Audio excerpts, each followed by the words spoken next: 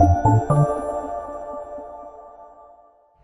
Folks and welcome back to AppSec School. I'm Louis, here to help make the complex world of application security a bit easier to understand. Today we are digging into an exciting concept that may help you scale your AppSec efforts, security champions. First thing, let's define what a security champion is. Well, in simple words, they are individuals from teams outside of security, often from engineering, but also from other departments like customer support, who champion or advocate for best security practices within their own teams. This strategy can be particularly beneficial for organizations where the AppSec team may be stretched thin, thereby allowing for distributed responsibilities. The main goal of a security champion is to foster a passion for security within their teams.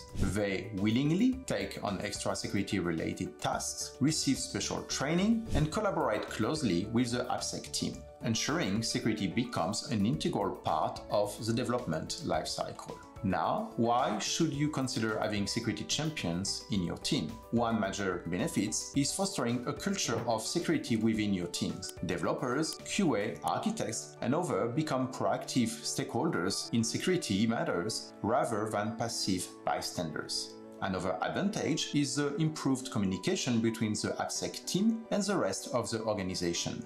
These champions act as a bridge, integrating security into the development process from start to finish and helping prevent security from becoming an afterthought. So who can be a security champion? The good news is that it doesn't necessarily have to be the most tech-savvy or the most senior individual in a team. The only criteria, a keen interest in learning about and enhancing security. Having a few seasoned players in your champion program can certainly add weight to its importance. If you are now thinking of instituting a security champion program, remember to first secure support from management, the AppSec team, and the engineering team, providing the champions with additional training and resources like those offered by PentesterLab will also be essential to their effectiveness. A few companies are gifting PentesterLab subscription to their champions, for example. And don't forget the perks. They are important to keep the champions motivated. This could include additional training opportunities, invitations to local security conferences, exclusive swag, and even making their role as a security champion part of their KPI. To sum up, security champions can be a potent addition to your organization's security strategy. They help foster a security-aware culture and facilitate smoother integration of security considerations right from the start of